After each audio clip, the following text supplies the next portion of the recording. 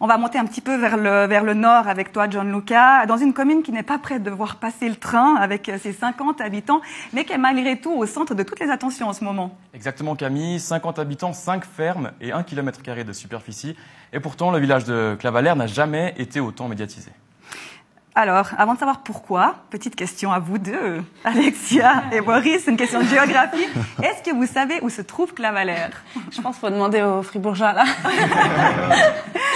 Personnellement, j'ai jamais entendu parler de ce village. On vous, on vous en veut pas encore, vu que Clavalère est encore bernoise, donc euh, ça va. Alors justement, il y avait un piège dans la question, je vous l'accorde, mais euh, je propose qu'on découvre ensemble où euh, il se trouve. Alors c'est euh, là, au nord-est du canton, il y a seulement 5 km de Morat, que tous les projecteurs euh, sont braqués en ce moment.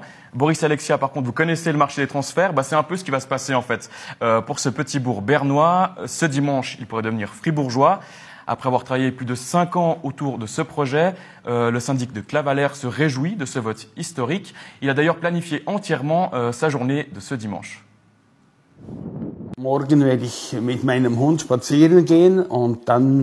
Le matin, je vais aller promener mon chien. Ensuite, je vais attendre ici jusqu'à 10h moins quart pour euh, récolter tous les bulletins de vote. Après, j'irai à Villars-les-Moines pour le dépouillement. Je rentrerai à la maison pour mettre ma plus belle cravate. Et vers 15h, je serai à Morat pour l'annonce des résultats.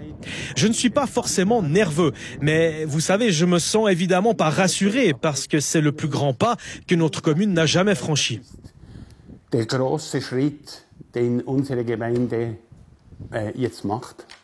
Et justement, si ce vote est attendu, c'est surtout parce que les transferts de ce type sont rares. À Fribourg, ça ne s'était pas vu depuis deux siècles. Euh, pour trouver un cas similaire, il faut remonter en 1996. Euh, la commune jurassienne de Vellerat était passée du canton de Berne à celui du Jura. À l'époque, sous la Constitution de 1874, il n'y avait pas non plus de règles précises en la matière.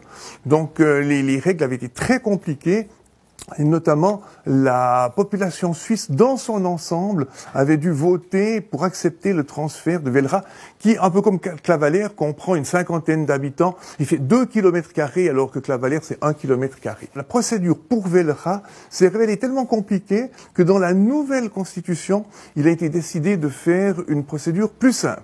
Et il va suffire, entre guillemets, d'une convention intercantonale.